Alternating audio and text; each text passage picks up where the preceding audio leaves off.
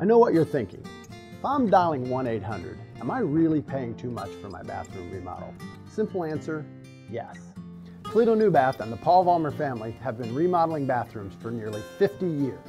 We survey the market. We know our competition, and there's been instances where we've saved our customers up to 40% off our competitors' price. Locally owned, two showrooms for your convenience.